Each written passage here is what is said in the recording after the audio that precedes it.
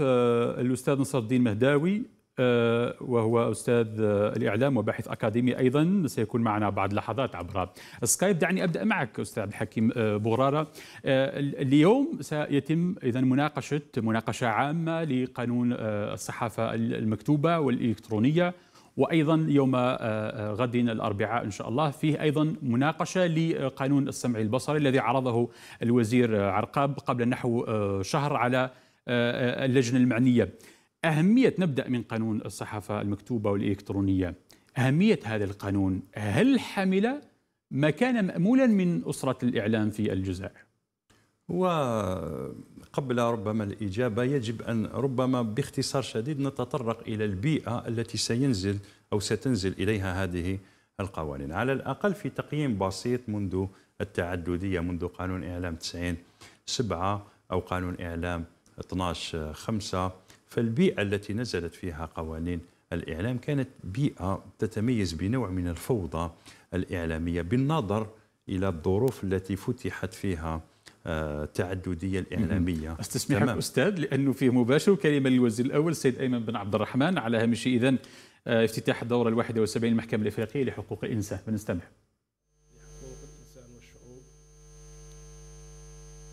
والشعوب بعد لحظات. اذا أعود إليك أستاذ عبد الحكيم بغرارة. نتحدث حول أهمية هذه القوانين. الهدف الأسمى هو تأطير أكبر وأوسع لقطاع الإعلام في الجزائر مثل ما قلت بدأ بطريقة غير مؤطرة بالشكل الكافي. تمام لأن الظروف كانت صعبة خاصة مع الأزمة الأمنية والعشرية السوداء. فالممارسة المهنية كانت تخضع لفوضى كبيرة وتم استغلالها لتصفية حسابات وظهر السب والشتم والكتابة بدون مصادر وهذه التبعات للأسف الشديد ما زالت تلاحق جزء من الممارسة الإعلامية في الجزائر. وبالتالي الوصول إلى تشريعات تراعي التحولات وتأخذ بعين الاعتبار انشغالات الأسرة الإعلامية من شأنه أن يفضي إلى قوانين تؤطر الممارسة الإعلامية مما يجعلها متوازنة بين القانون وبين الممارسة لأن القوانين هي دائما مثالية دائما ما تدعو إلى المثل. عندما ننزل إلى التطبيق تنعدم تلك البيئة التي تحتضن هذا القانون لأن تقييم بسيط جدا. قانون إعلام 90 7 أو قانون إعلام 12 5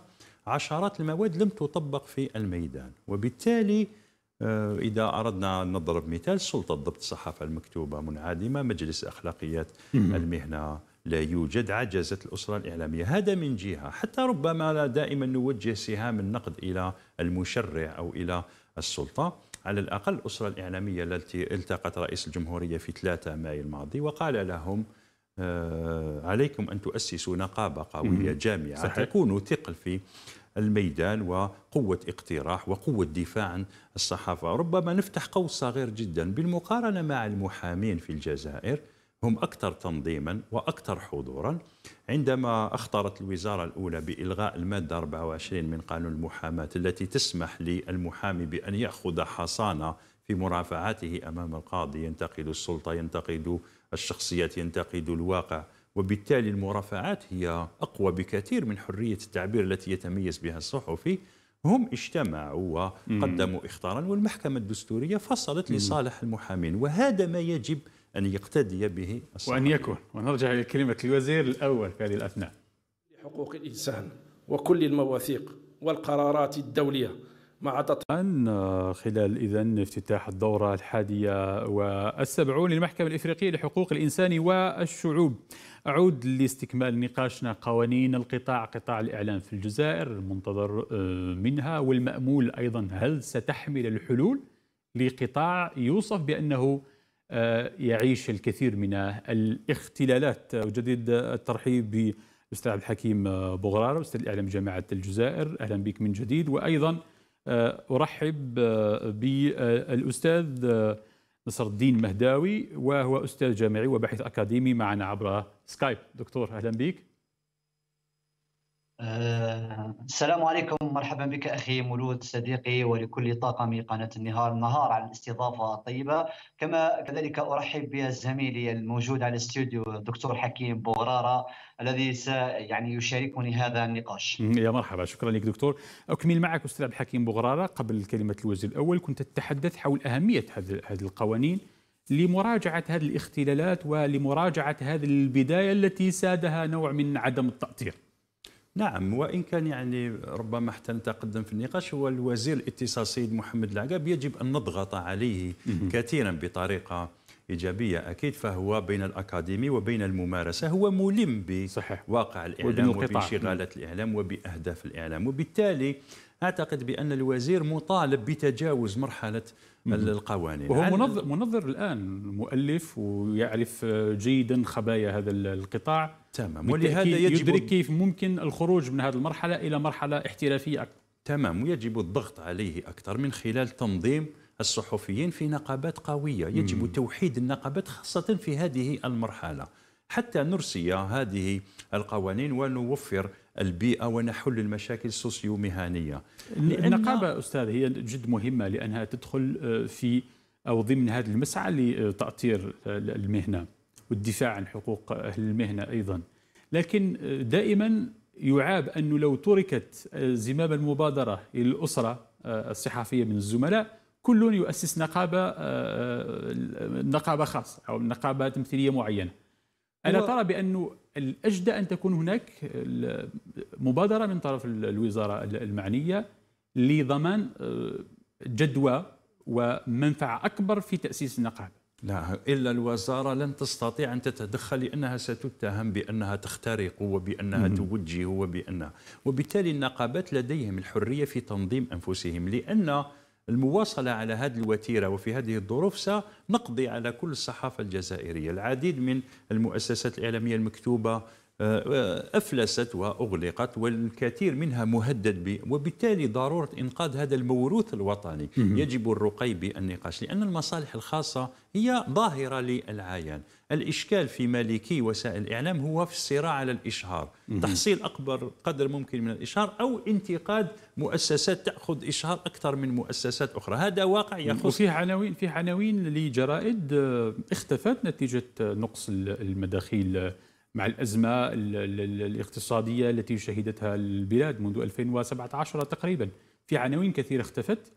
آه، وبالتالي هل أيضا سيحمل هذا القانون نظرة أخرى ربما فلسفة أخرى لتعتمد الجرائد أو لتدفع بالمؤسسات الإعلامية باختلافها إلى إيجاد بدائل لضمان بقائها لضمان تطويرها وتطوير أدائها أيضا بعيدا عن هذه النظرة لمداخل الدولة؟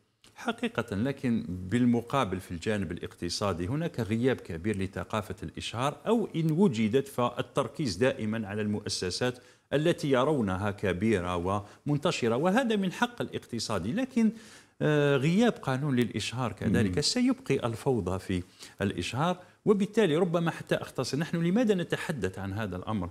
لاحظ مثلا في ما يحدث في غزة وفلسطين لولا الإعلام الجزائري الأحزاب غائبة الجمعيات غائبة عدد باحتشام كثير من المؤسسات لا هو يبقى م. الإعلام في الجزائر يحمل هم كل صحيح. المؤسسات صحيح. التي تخلت عن أدوارها أو لا تقوم بأدوارها ولهذا الإعلام يجب أن يلقى كل الدعم صحيح. من السلطة لأنه تقريبا هو الواجهة الأولى في الجزائر والذي قاوم الإرهاب والحروب الآن تخاض عبر واجهات إعلامية عبر وسائل الإعلام. لاحظ بأن الإعلام قلب موازين ما يحدث في فلسطين حشد الرأي العام الدولي انقلب الجميع على الكيان الصهيوني. هذا ربما حتى آه، نترك الفرصة للزميل مهداوي. السلطة يجب أن تثق في الإعلام يجب أن تدعم الإعلام لأن في الأوضاع العادية لا تظهر الكثير من أهمية القطاعات لكن في الأزمات لن تجد إلا الإعلام لتسيير الأزمة، للتحكم في الأزمة، للتقليل من تبعات الأزمة،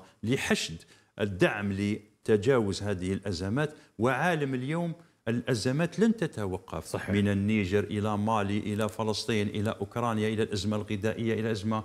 وبالتالي يجب تغيير النظرة إلى هذا الإعلام. مم. يجب أن نثق فيه لأن حتى ما يحدث مع حقوق الإنسان والتباكي على ازدواجية المعايير يجب أن نكون فاعلين صحيح. إعلاميا صحيح. ونقول أن قوة الإعلام في الجزائر هو من قوة الدولة آه، أيضا آه، ويترجم هذه القوة والمكانة للدولة أيضا ويدافع عن هذه المكانة. هو أستاذ شوف السلطة م. أعتقد بأن فيه بداية اهتمام لتنظيم الإعلام ومنحه المكانة اللازمة حتى يكون مقوما مهما للحفاظ على الأمن القومي الجزائري. لكن فيه جهات تقاوم حرية التعبير لا تتقبل النقد. أه تحاول أه جعل الإعلام يسير بوتيرة تابعة لأشخاص ربما مفسدين أو لديهم حتى الرئيس الحالي يعني أعطى نموذج غير محود في الجزائر آه، في علاقته بوسائل الإعلام لقاءات دورية وسياسة إعلامية جديدة اتصالية وقريب جدا يوصف من أسرة الإعلام وبالتالي ينتظر أيضا الكثير. يا أستاذ للاستفاده من هذه التجربة. أنا نقول لك يا أستاذ شوف السيد الرئيس ملم بخلفيات ما يحدث في قطاع الإعلام لأنه المجلس أخلاقيات المهنة الوحيد كان في عهد عبد المجيد تبون وزير الاتصال. من سنة 2000 2001 هو الذي كان وزيرا للإتصال وهو الذي لعب دور كبير لاقناع الصحفيين بتشكيل مجلس لإخلاقيات المهنة والذي لم يدم أكثر من ثلاث سنوات بسبب كثرة الصراعات داخل الأسرة. نروح الاستاذ أطرنا عليه. أستاذ نصر الدين المهداوي أهمية هذه المشاريع مشاريع القوانين لتأطير القطاع. ما لاحظته؟ ما سجلته؟ من نقاط إيجابية؟ آه، وأيضا إن كانت لك آه، أيضا ملاحظات آه، في بعض المواد لاستدراكها. نعم. والله بمقتضى رقم القانون رقم 025 المتعلق بمشروع قانوني الصحافة المكتوبة والإلكترونية وحتى السمع البصري. لما نتكلم على مواطن القوة لهذين القانونين أظن بأن هذين القانونين أسدلا الستار على بعض الجوانب التي كانت تشوبها يعني الضرريه والغموض يعني في القوانين السابقة. والتي تنظم سير نشاط الإعلام سواء المقروء والمسموع والمرئي خاصة ما تعلق يعني بأطر يعني النشاط والممارسة والحماية. نتكلم في مجال يعني في مشروع قانون الصحافه المطبوعة والإلكترونية نشوف بأنه آه، القانون أشار إلى نقطة مهمة جدا المتعلقة يعني بتجميع الشركات يعني آه، الطباعة العمومية ضمن مخطط سير واحد يعني تحت وصاية مؤسسة واحدة وهذا مهم جدا آه، حبذا يعني لو يمكن تسميتها بمؤسسة الوطنية للطباعة لإبعادها يعني عن أشكال يعني آه، الاستغلال مع التصريح بمصادر التمويل.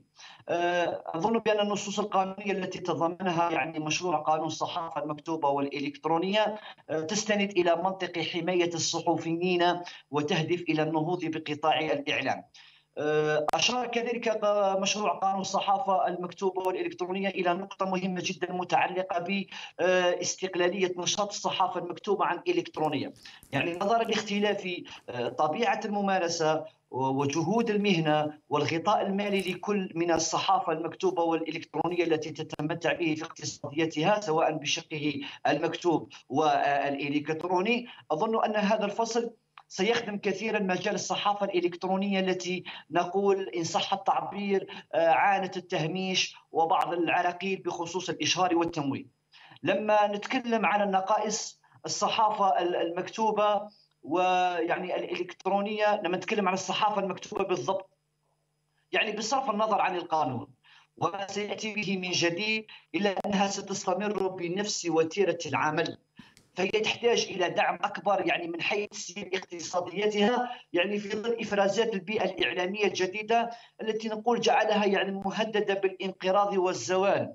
آه، في الصحافة المكتوبة لم تعد يعني محل الاستثمار المربح. هي ظاهرة عالمية أستاذ لنكون لنكون واقعيين. آه، كل الجرائد الورقية نعم. في العالم هي باتت الآن مهددة بالزوال لأنه اليوم هي آه، دخلنا عالم الصحافة الرقمية آه، وبالتالي وحتى صحافة آه، مواقع التواصل الاجتماعي أو هذه المنصات التواصلية التفاعلية. وبالتالي الصحف يجب أن تواكب هذه هذه النقلة إلى عالم آه، ربما بات يحتم عليها إيجاد حتى في فيما يخص طرق التمويل إيجاد بدائل اقتصادية لها أيضا. نعم الأخ مولود أنا قلت أنه لابد من إيجاد بدائل اقتصادية لها في ظل التحولات التكنولوجية، أنا لا نتكلم يعني عن طبيعة النشر والممارسة آه، عبر الوسائط الإلكترونية وإنما نتكلم أنه لابد من وجود اليات جديدة يعني لإنعاش اقتصاديات اقتصادياتها حتى تصبح يعني لها مكانة في السوق الإعلامية، يعني أنا نتكلم على إمكانية الدعم المالي وتمويل الصحافة المكتوبة يعني التي لابد أن يشير إليه القانون. من بين نقائص قانون الصحافة المكتوبة والإلكترونية حب يعني حسب تشريع المشروع. نتكلم مثلا عن المادة 9 آه، إلغاء ما تم اقتراحه في المادة 9 من مشروع قانون الصحافة المكتوبة والإلكترونية. مدة الخبرة. أو أقدمية يعني م. تساوي أو تفوق تفوق 15 لكل من يرغب يعني آه، يعني بتقديم ملف للحصول على رخصة أو أو تصريح لمزاولة النشاط الإعلامي، يعني حبذا لو يتم تقليص هذه الفترة أو هذه المدة السنوية من سبع إلى عشر سنوات مثلا لمدير مخبر لمدير آه، عفوا لمدير نشر بالنسبة للصحف المكتوبة وخمس سنوات من أربع إلى خمس سنوات بالنسبة للجرائد الإلكترونية. قانون الصحافة المكتوبة والإلكترونية لم يتطرق كذلك إلى النقاط التالية، اولا ما يتعلق بتحسين الوضعية المادية والمهنية للصحفيين، عائدات إشهار الجرائد المحتشم الذي أدى إلى تقليص رواتب الصحفيين. الاستقلالية التامة للجرائد لاستفادتها من إشهار العمومي على غرار باقي وسائل الإعلام الوطنية. لماذا كذلك لا يتم تعيين لجنة مستقلة من طرف سلطة الضبط الصحافة المكتوبة والسمع البصري للقيام يعني بدوريات وخرجات استطلاعية للمؤسسات الصحفية والإعلامية لمراقبة سير آه، نشاطها يعني آه، وفق ما تمليه النصوص القانونية.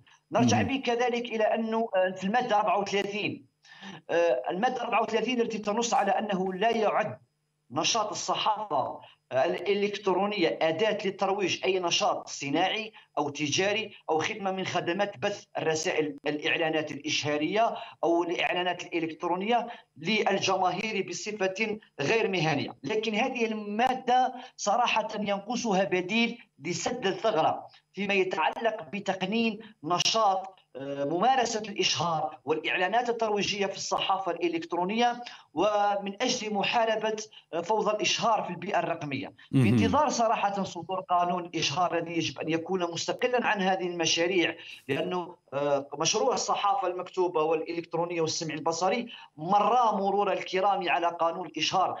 وأنا أقول أنه حتى ان يكون القانون مكتملا من كل الجوانب لابد أن يعالج اشكاليات تقنين الإشهار الإلكتروني التي تشوبه يعني صراحة فوضى من ناحية توزيع المساحات الإشهارية، صيغ العقود بين المنتجين والمؤسسات الإعلامية، إضافة فيما يتعلق بمعايير إنتاج المحتوى الإشهاري.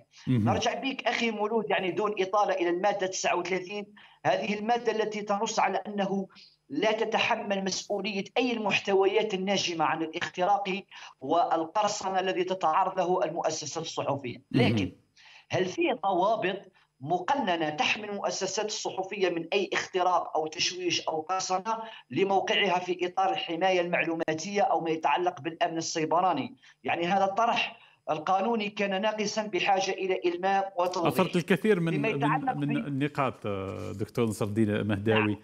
آه، بخصوص بخصوص ما تفضلت نعم. سنعود إليك طبعا بخصوص ما تفضلت نعم. بتحسين الوضعية الاجتماعية لاسره الإعلام. رجال الإعلام يدافعون عن الجميع إلى عن همومهم يعني في نهاية المطاف. آه، أعود إليك أستاذ عبد الحكيم بوغراره آه، ما كان ملاحظا على بيئة الإعلام في الجزائر أن هذه القوانين جاءت متأخرة لطبيعة النشاط الاعلامي الذي كان سائدا. مثلا فيه مواقع إلكترونية كانت موجودة وانتشرت آه، وربما آه، آه، مارست نشاطها منذ سنوات ولكن البيئة القانونية المرافقة تأخرت. الآن هل هذه القوانين المؤطرة للقطاع هل ستحتوي نشاط كل هذه المؤسسات الإعلامية باختلاف وسائلها وطبيعتها؟ معلش هو أستاذ حتى نكون إيجابيين؟ بداية التنظيم هو أمر مهم جدا. مم. أكيد بأن أي قانون ينزل إلى الميدان سيعرف بعض الاختلالات أو بعض المقاومة أو بعض التحايل على القانون في الميدان. لكن علينا أن نقتنع بأن هذه القوانين هي بداية في انتظار ربما تعديلات بعد تقييمها لسنوات قليلة وهذا ليس عيبا طالما أن الأمور نسبية. ونحن نتحدث عن 36 تعديل على مشروع قانون. المشاريع الثلاث الصحافه المكتوبة الإلكترونية والسمع البصري. بالتالي فيه أيضا تعديلات هامة فيما يخص هذه المشاريع لا هو ليس تعديلات هذه مقترحات النواب. لكن للأسف الشديد ضعف السلطة التشريعية أمام السلطة التنفيذية يجعل من هذه المقترحات معظمها يسقط كما أن العيب في هذه القوانين الكثير من المواد الخاصة بأخلاقيات المهنة واعتماد الصحافة الأجنبية وبطاقة الصحفي كلها ستحال إلى التنظيم وهذه تحتاج إلى مراسيم وإلى قوانين أخرى تضبط الأمور. ولهذا قلت لك غياب نقابة عدم ضبط الأسرة الإعلامية غياب بنك معلومات غياب الإحصائيات هذا يجعل لأن مثلا مجلس أخلاقيات المهنة أو هيئات أخرى تحتاج إلى انتخابات والكثير من الصحفيين يرفض أن يستفيد من بطاقة تصدرها هيئة رسمية بسبب خصوصية المهنة والاستقلالية مثل ما يدعون. وبالتالي هذه الدهنيات سواء من جهة السلطة من جهة المجتمع ومن جهة الإعلام هذه الفوارق الكبيرة جدا. على الأقل بالمقارنة مع المحامين الذين هم أشد تنظيما وأكثر تنظيما وأكثر تأثيرا وأكثر دفاعا عن حقوقهم. لماذا عندما طرحت أو طرح الأستاذ مهداوي وهو مشكور تحياتي له عندما يتحدث عن المشاكل السوسيو مهنيه للاعلاميين، وزير الاتصال هو يفهم هذه الأمور، قال بأنني آه، أتعهد بإنزال قانون أساسي للصحفيين. هذا القانون سيكون معمما على الجميع في شبكة الأجور في الحقوق في الواجبات. وبالتالي ننتظر هذا الالتزام ولهذا قلنا يجب الضغط على وزير الاتصال بحكم إنه ابن المهنة ويريد ربما أن يترك بصمته وبالتالي يجب رفع مستويات الضغط عبر النقابات وعبر الكتابات وعبر الاهتمام لأن أداء الإعلام مثل ما قلنا خاصة في أوقات الأزمات في الحفاظ على الأمن القومي البيت الأبيض في الولايات المتحدة الأمريكية يجتمع مع الصحفيين الذين أصبحوا يشاركون في صناعة سنعود لتفصيل أكثر بعد فاصل قصير أستاذ عبد الحكيم بغراء أستاذ نصدي مهداوي تفضل البقاء معي. فاصل قصير ونعود.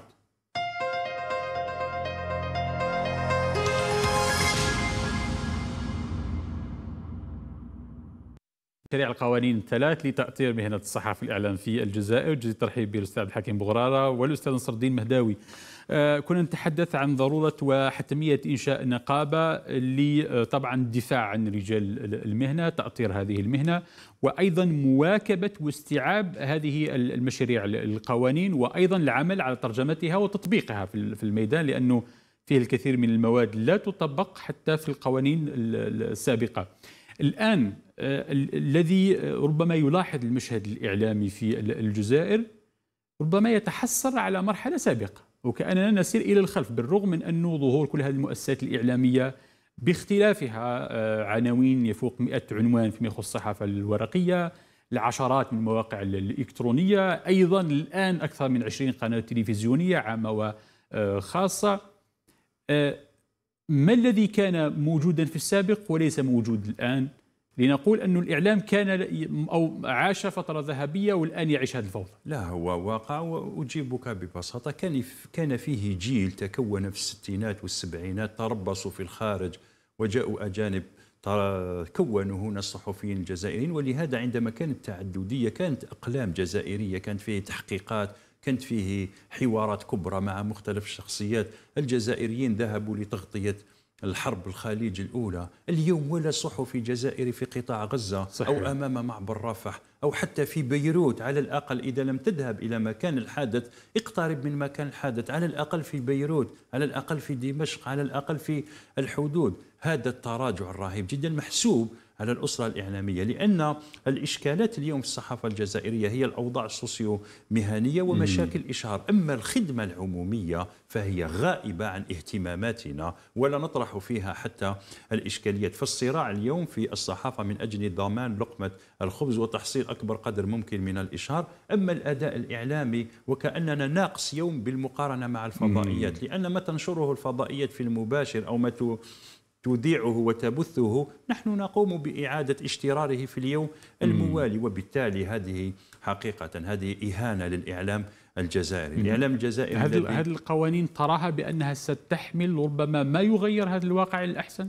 هو هذه من ناحية التنظيم والتأطير التي ستدفع طبعا بتحسين الأداء. تمام. السلطة يجب أن تخصص الدعم للصحافة المحترفة الذي يقوم بالاستقصاء والتحقيق والروبورتاج والذهاب إلى مشاكل المجتمع ومختلف ولايات الوطن ولديه شبكة مراسلين، هذا يستحق الدعم لأنه محترف يحاول أن يصل إلى الاحترافية ويقدم خدمة للمجتمع أيضا. تمام لأن م. الإعلام ليس مكان لخلق ثروات والغنى الفاحش والثراء الفاحش، الإعلام فيه جزء تجاري فيه جزء من الأرباح لكن هو مخصص للخدمة العمومية. هو تقريبا شبه مرفق عام ليس مكان لجني الملايير أو على الأقل تفاوت بين المالكين وبين الصحفيين. ربما الصحفيين عبر وزير الاتصال يجب أن يضغطوا للدخول كمساهمين ولو بنسب 10% حتى يضمنوا حقوقهم حتى يستفيدوا من الأرباح إذا كانت لتحسين أوضاعهم السوسيو مهنية لأن الإعلامي بعد عشر سنوات أو خمسة عشر في مؤسسة إعلامية يجب أن يصبح مساهما. لاحظ بأن عدد الوفيات لدى المراسلين والصحفيين ارتفعت بشكل رهيب في السنوات القليلة حتى طب العمل لا يوجد. لا كل أنا أرفض التباكي وتسويق الشفقة على الصحفيين ولكن يجب التنظيم لأننا أصبح الجميع مهددا بالزوال في ظل هذه الفوضى. في انتظار القانون الذي وعدنا به الوزير هو القانون لتغيير هذا الوضع ربما. تمام هو القانون مهما كانت الانتقادات للسلطة مهما كانت الاتهامات للمشرع بأنه ينظر للسلطة أكثر مما ينظر للمهنة لكن غياب المقترحات سواء من البرلمان أو من الأسرة الإعلامية هذا يجعلنا دائما في موقع ضعف ووهن المحامين مؤخرا عبر الضغط الإيجابي في إطار القانون أجلوا آه، مناقشة قانون الإجراءات المدنية فيه أكثر من 800 مادة. قالوا بأنه لا يعقل أن نناقشه في أسبوع وهو الذي يمس تقريبا كل جوانب القضاء والتقاضي في الجزائر تأثير إيجابي صحيح تأثير إيجابي. وبالتالي. أهم أمر حتى نكون إيجابيين حتى ننتقل إلى الأداء يجب آه، توفير بيئة لهذه القوانين وتقييمها بعد سنوات. لكن الأسرة الإعلامية مطالبة بالتنظيم. مطالبة بالتنظيم. أعود أستاذ نصر الدين مهداوي تحدثنا عن الجانب آه، السوسيو مهني بالنسبة لرجال الإعلام. أيضا تغيب عن الحديث أيضا نقطة جد مهمة التكوين الذي آه، يعد ركن أصيل للرقي بالمهنة. لماذا الآن تقريبا كل المؤسسات الإعلامية لا تتحدث عن تكوين رجال المهنة؟ نعم. والله قضية أو إشكالية التكوين الصحفيين والله مهم جدا. يعني آه، تكلمت في 42 مثلا من قانون الصحافة المكتوبة والإلكترونية التي تقول لابد من إقامة آه، علاقات وإبرام اتفاقيات لتبادل الخبرات يعني بين الصحافة الجزائرية الوطنية والصحافات الأجنبية. أنا أجدها بأنها نقطة مهمة جدا لأننا بحاجة إلى إبرام اتفاقيات مع الصحافة الأجنبية لتكوين الصحفيين في مجال التحرير، في مجال الكتابة الصحفية، في مجال الإخراج، في مجال التقديم إلى غير ذلك، حتى نرقى بقطاع الإعلام إلى مصف المشكلة ليست في التحرير والكتابة. هذا الشيء يتفاوت ولكن أيضا المستوى لا بأس به. ولكن نتحدث عن ثورة الآن تحصل في مجال الإعلام. تكنولوجيات جديدة، تقنيات جديدة في العرض وإمكانيات أيضا ضخمة مهوله الان في طرق عرض المضامين الإخبارية وبالتالي بالتالي يجب مواكبة هذا التحول أيضا المفروض. والله آه، نحن ننتظر إن شاء الله يعني إطلاق مشروع المدينة الإعلامية سيتي التي تكلم عليها رئيس الجمهورية السيد عبد المجيد تبون التي ستكون يعني قطبا آه، اعلاميا لتكوين الصحفيين وتأطيرهم. والعمل على كذلك يعني آه، يعني جذب أكبر عدد ممكن من المكونين والمؤطرين في مجال تكنولوجيا الإعلام والاتصال في ظل الحتميه التكنولوجيه التي نعيشها اليوم وهي مواكبة الصحافة الوطنية ومواكبة قطاع الإعلام تكنولوجيا الإعلام والاتصال. أنا كان في نقطة مهمة حبيت نتكلم عليها لماذا لا يتم يتم الصحفيين في مجال تقنيات الذكاء؟ مقبلين عليها ألا وهي صحافة الذكاء الاصطناعي. يجب أن يتم تكوين الصحفيين التقني فيما الدرون مثلا طائرة المسيرة فيما يتعلق باستخدام لمختلف التقنيات للمراجعة الآلية للأخبار أو تحت ما يسمى بالدورات التكوينية المتخصصة في كل في كل القطاعات. الدورات التكوينية المتخصصة وتكون بشكل دوري يعني دون انقطاع. ممتاز. أستاذ عبد الحكيم تفضل تفضل. صحافة الذكاء الاصطناعي. أستاذ نحن في الجزائر لم نكمل دورة الصحافة صحيح. المكتوبة وهذا ليس عيب لأن اليوم عندما تشاهد فضائيات العربية الكبرى تفتتح الأخبار بافتتاحية الول ستريت جورنال أو الواشنطن بوست أو نيويورك تايمز لأن الصحافة المكتوبة حبة من حبة وحبة من كاره هي المدرسة الأولى صحيح. هي المؤثرة هي التي تبقى هي التي تعيد فيها القراءة وتستفيد منها كمدرسة المسرح في التمثيل تمام. م. وبالتالي في ظل الأمية الرقمية التي يعاني منها الوطن العربي وتعاني منها إفريقيا اكتساب التكنولوجيا ليس ضمان لتقديم احترافية. مثلا الأستاذ تحدث عن أي مدينة إعلامية؟ ماذا سنسوق فيها من مضامين إعلامية؟ م. هذا هو الإشكال يا أستاذ. قد نكتفي بهذه المقرات ويكون الأداء وتكون الحرية ويكون التأثير. سنستفيد أحسن من تواجد مدينة مم. زجاجية تبث الرداء نقطه جد مهمة دكتور عبد الحكيم ونختم بها لأنه لم يتبقى الكثير من الوقت. هل مشكلتنا في قطاع الإعلام في الجزائر مشكلة قوانين وتأطير أم مشكلة ذهنيات؟ عندما نتحدث عن قوانين ضمن حق الصحفي في الوصول إلى المعلومة لكن في الواقع فيه صعوبات كبيرة في الوصول إلى المعلومة في التواصل مع المؤسسات الرسميه الآن نحن هنا في في في, في مؤسسات الإعلام صعوبات كبيرة في التواصل مع مؤسسات قطاعات وزارية هي مفروض عليها أن تقدم المعلومة. ولكن في صعوبات في التعامل. هنا ربما التركيز أيضا أن نواكب هذه القوانين بتغيير في الذهنيات أيضا. تمام. لهذا قلنا يجب توفير البيئة حتى نطبق هذه في ظل هذه الذهنيات المقاومة والتي تتعقد من منح معلومة أو تقدمها لطرف دون طرف آخر ليس فيه عدل في توزيع المعلومة، فيه توجيه للمعلومة لأن هذا تاريخيا في الجزائر، الإعلام كان إعلام أشخاص، كان إعلام دعائي لأشخاص، وبالتالي هذه الذهنية ما زالت مستمرة إلى اليوم، وبالتالي ف لماذا قلت لك بأن الإعلام لعب تقريبا كل أدوار المؤسسات؟ ولهذا الجميع ينظر إليه بأن آه، حتى إن كنت أنا فاسدا أو رديئا فدائما أقول بأن ما دام الإعلام آه، أؤثر في الإعلام أو أتمكن من التعتيم في الإعلام فهذا الأمور ستسمح لي. لأن هنا يجب الحديث عن العدالة كذلك. الإعلام ليس قطاع عدالة لا يحكم على الأشخاص. لكن في الواقع أصبح الإعلام هو العدالة هو السياسة هو صحيح. المعارضة. ونختم بنداء آه، منك دكتور عبد الحكيم. هو نداء لأسرة الإعلام ليغتنموا هذه الفرصة فرصة من ذهب. باختصار شديد الأسرة الإعلامية عليها أن تقتدي بأسرة المحامين. بالمختصر هناك نموذج جزائري قريب إلينا في بيئتنا يحفظ حقوقه ويؤثر ويضغط بطريقة إيجابية ويساهم في خلق هذا التدافع من أجل الأحسن من أجل المصلحة العامة من أجل مقاومة هؤلاء الذين يعرقلون الإصلاحات. والتنبيه السلطة السلطة تقول عندما تشاهدون أمور في القوانين في الأداء عليكم أن تنبهوا. المحامين ينبهون يذهبون إلى المحكمة الدستورية تمكنوا من تحقيق كثير من المكاسب.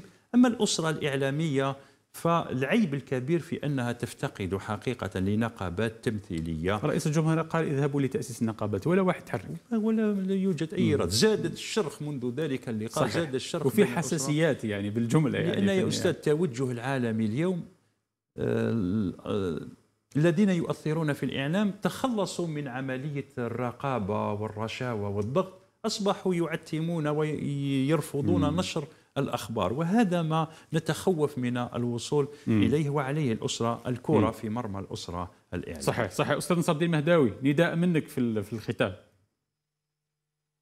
والله في الختام أنا نتمنى إن شاء الله أنه يتم يعني آه يتم يعني استقلالية سلطة الضبط الصحافة المكتوبة والسمع البصري. عن مجلس آه، انتقاء المترشحين للحصول على رخصة الزواج النشاط الإعلامي يعني دون وجود وسطاء وسطاء أو, أو عملاء إلى غير ذلك. أنا أتمنى كذلك الإفراج عن آه، قانون الإشهار حتى يكون مكملا لمشروع قانوني الصحافة المكتوبة والإلكترونية والسمع البصري. آه، إشكالية التكوين الصحفيين مهمة جدا. أنا أثمنها كثيرا وأتمنى أن تكون دورية في كل مرة يتم تكوين الصحفيين سواء في مجال التحرير والكتابة والقواعد ومعايير يعني انتقاء المضامين وكيف معالجتها حتى تكون ذات جودة. آه، مضامين رصينه تقدم خدمة عمومية وهادفة للجمهور. نتمنى أنه يتم تكوين صحفيين يعني ربما الأستاذ قبيل الدكتور حكيم بغرارة ما فهمنيش. أنا قلت بأنه آه، استغلال تكنولوجيات الذكاء الاصطناعي وتكنولوجيات الإعلام والاتصال يتعلق في مجال تقني في مجال السهولة والمرونة في الوصول إلى مصادر الأخبار.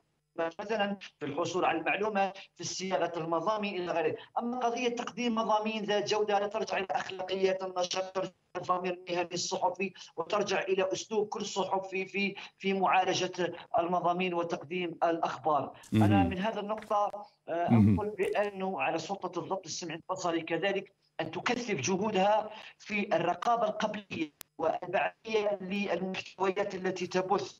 وهناك نقطة و بعجه ونختم بها ما بقاش وقت نعم هناك مادة قانونية في السمع البصري تقول لابد أن يستوفي الشخص الشروط المطلوبة لتقديم منحة رخصة يعني إنشاء خدمة اتصال سمعي بصري. إذا لماذا لا يتم تشكيل لجنة مستقلة تقوم هي من تدرس تقوم هي بدراسة الملفات وانتقائها انتقاء هؤلاء المترشحين وفق المنوطة دون أي وساطات أو محاباة أشكرك. أتمنى أنه يتم تطبيق القانون بكل حذافيره وبكل مواده أشكرك جزيل الشكر أستاذ نصر الدين مهداوي أستاذ الإعلام والباحث الأكاديمي وأشكر الأستاذ عبد الحكيم بغرارة أستاذ الإعلام جامعة الجزائر كنت معنا في البلاطو. شكرا لكما.